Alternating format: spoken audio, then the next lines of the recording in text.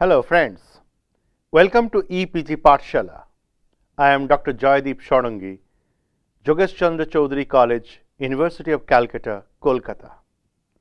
Friends, we are into module 15 where we are to look in the contribution of William Langland and this module is prepared by Dr. Kalyani Dikshit who teaches English in a college in Lucknow.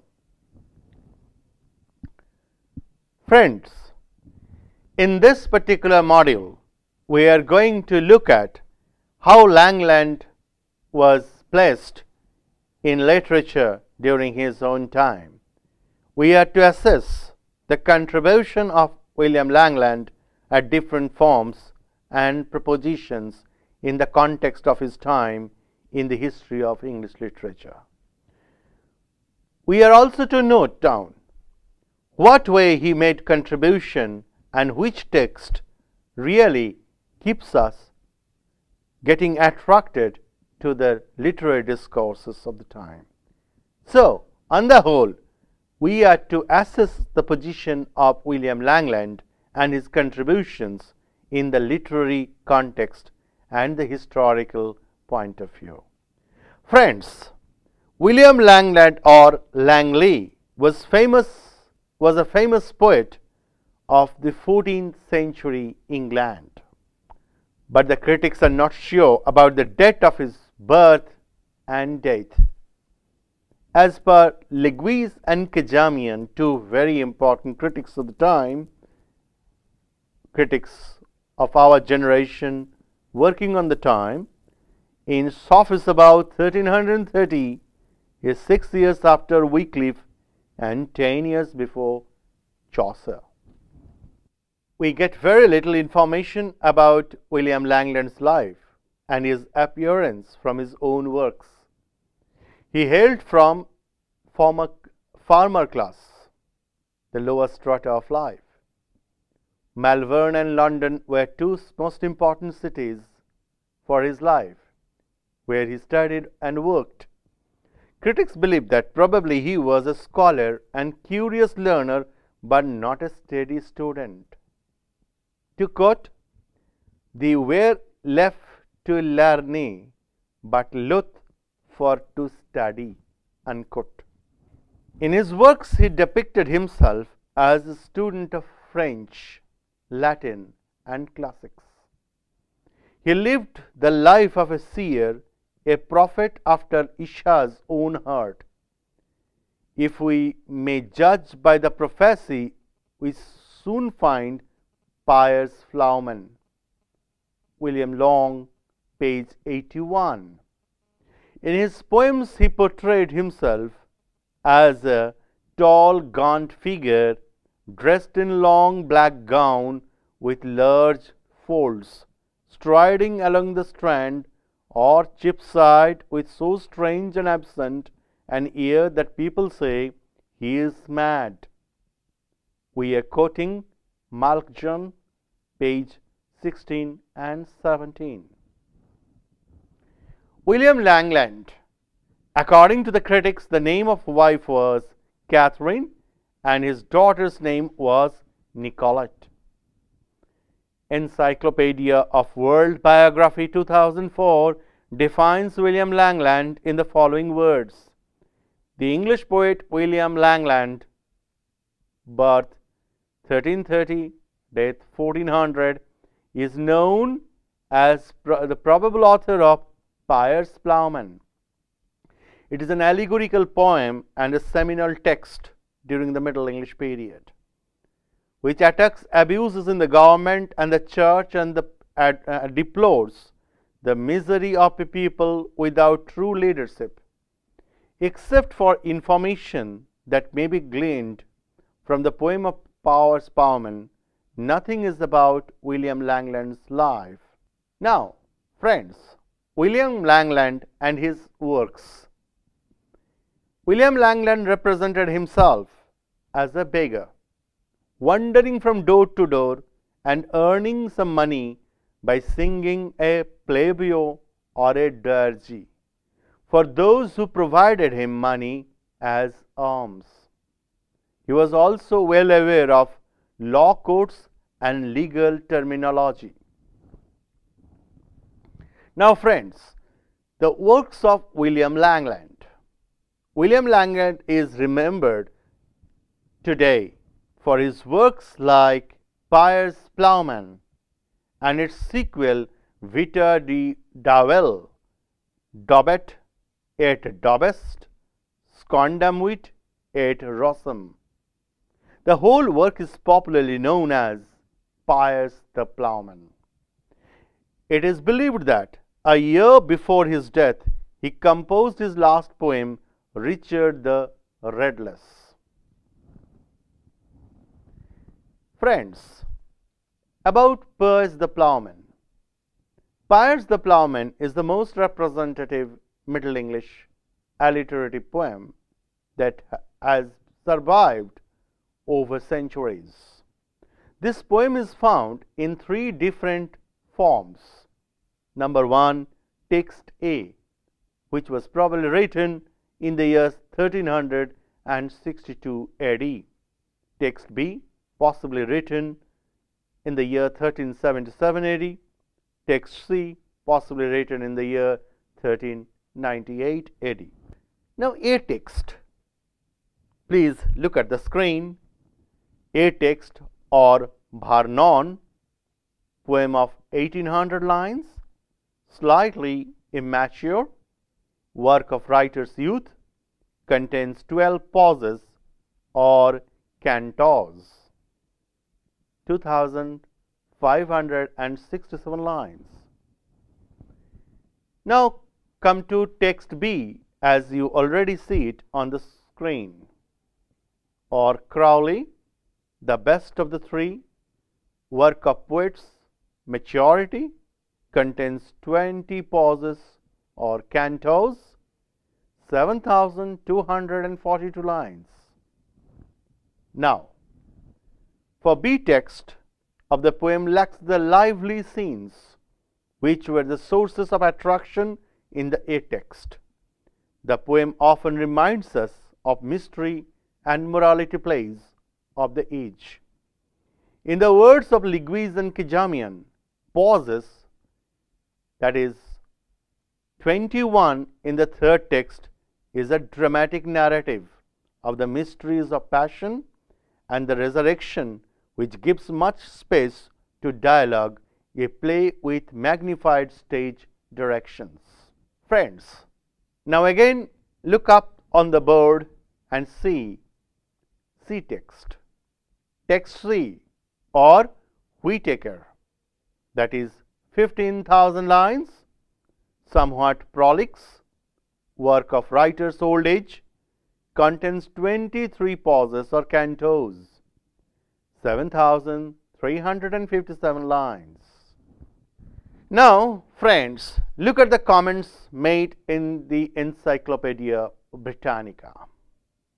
As per the Encyclopedia Britannica 14th edition, the A dating from 1362 AD contains a prologue and 12 passus or cantos 1 to 4, the vision of the Lady Meed 5 to 8, the vision of Piers the Plowman 9 and 10, 11 and 12, the vision of do well, do best, and do best 2567 lines and B text C 1377 edition is much longer containing 7242 lines with additional passus following after 11 of A, the earlier passus being altered in various respects, the C text with 7357 lines is a version of B.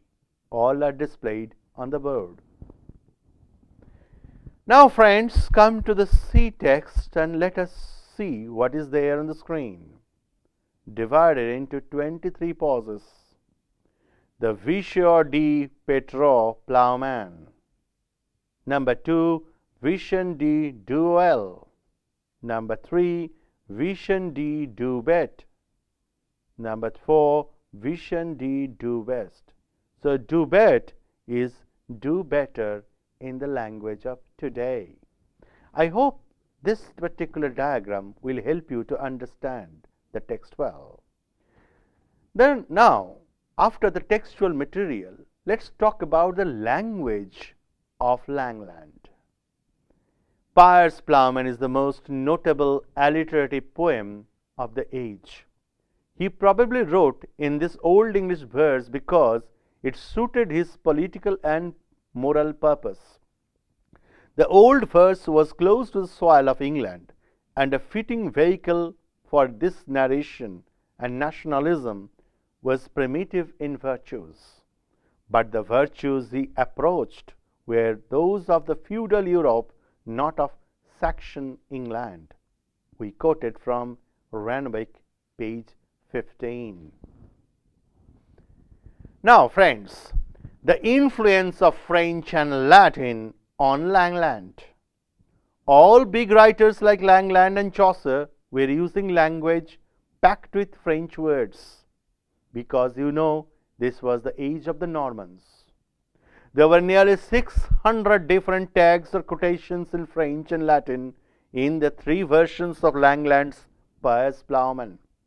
French is also an essential part of the meaning in the book. Now, please enjoy the quotations from Piers and Plowman in Latin. Let me just read out a couple for your benefit.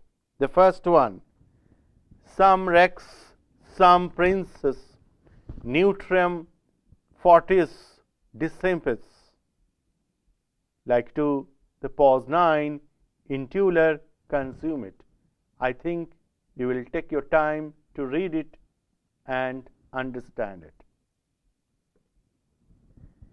Now the dialect of Langland. He writes in a dialect which is a mixture of East Midland, Midland and of South. Uses ETH which is a sign of plural in the South whereas en is the sign of plural in the East Midland. JMD Meiklejohn quotes that Langland makes his genitive singular end as in es. This plural adjectives end in e.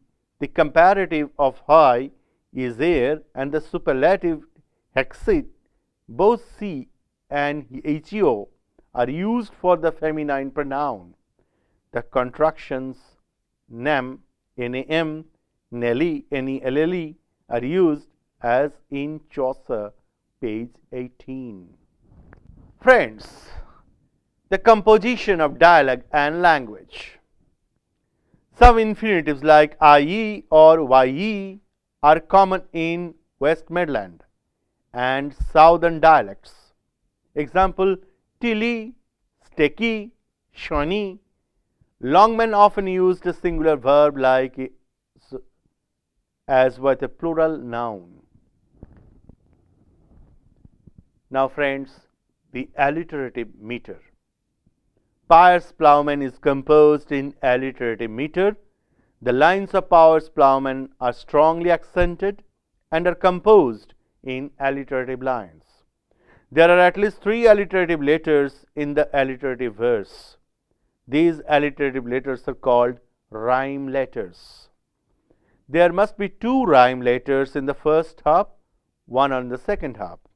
The first two rhyme letters are called sub, S-U-B, sub letters and the last one is called chip letters. The accent must strike alliterative syllables and there must be at least three accented words as Meiklejohn points out in the book page 18. To conclude, we must understand the man Langland and his work Piers Plowman and its contribution to the age.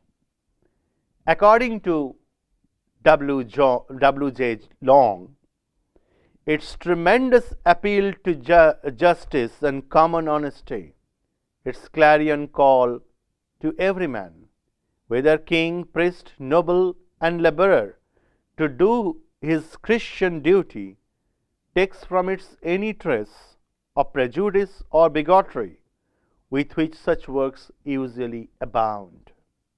So you can easily understand how the critics have assessed Langland as a contributor to the literary tradition of his own time. I hope you enjoyed this particular module very much. Thank you.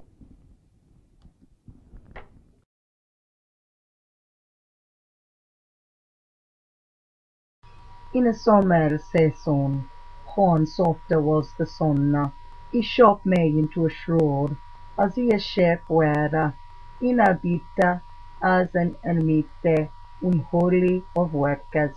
Winter iluida in this world, wondrous to hear, Botta in a majas moringa, on marvena hulles.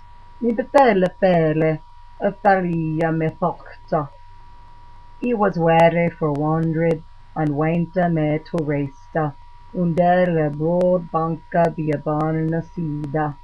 And as he lay and Leoneda, and looked on the waters, he slumbered in a sleeping, he swayed so Maria.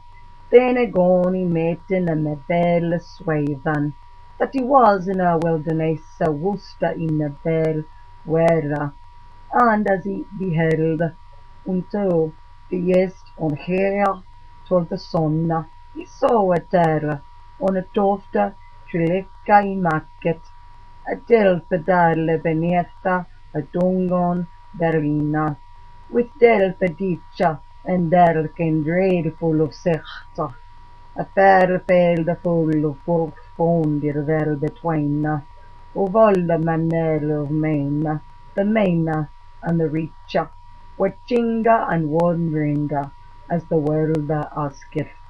Some are put in hame to the plough, full Sildana, in Satinga and in Salwinga swonken full harda, and in the pearls was sterilus with flow, Donia, the Straven, and some are put in hame to Priera, and the laughter incontinence of clothing common disguised, to prayers and to penance put in harmonia, for love of our Lord let levitain full strict, in offer for to have a heaven rich bliss, an anchoress and a meetest that hold in hand to hell careless. Covete not in contrary to Karen of Botta, for non licerius le flora hera licam to plessa, and so much machos and chapere to cheven da betra, as it semet to erre sechta, that such a men dreveth, and soma merkles to maken as the god with erre glay, gitles i the chapels and jangeleres Jordes children found in him fantasias and full same marin. En abert wheat a hella wheela to watching yetha him lusta, that poorly preacheth of him, he darely not preoven hella, quello quetal typiquolian, he is the facelis hina.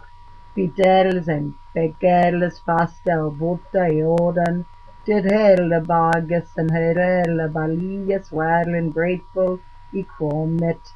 Beneden hin för hele fåra fakta ofta alla. En glotinia god vårt går hejo to beade. Han reset upp i Brabania des Robertes knappes släp en slagsat sol with a medella.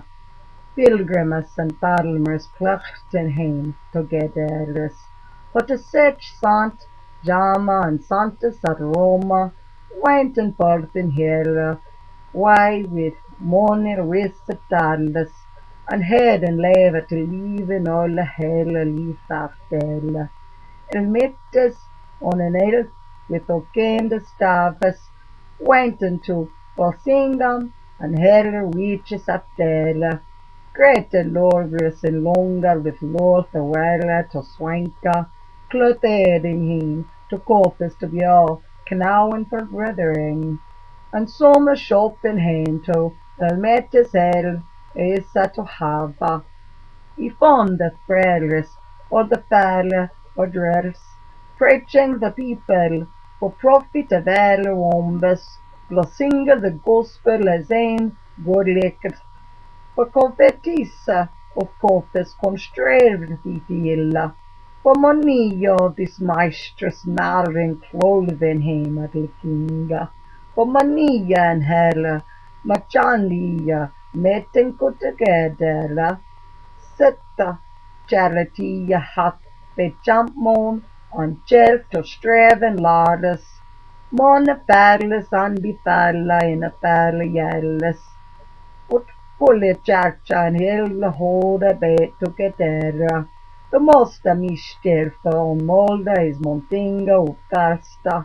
Delle precede er patanelle, as ega presta wara, and to forth a bulla with the sailors, and said that himself a melchta solden hemolla, och falsnissa and fastinga, valleys he broken, the lower men levera him well, and lekela his fecha, and coming up kneeling to kissing his bulla, que ponchera him with his brevet and blared hala a even, and rochta with his ragamon, rangus, and roches. Thus ye gevet alle god, to helpen, and leveth it to losers that literally haunten, where the bishop blessed and worth both his heirs. His cell should not be sent to save the people. It is not only be the bishop that the boy preacheth, but the parish priest and the paterna part of the silver, that the parle people of the parish should have if, that hellre no ware.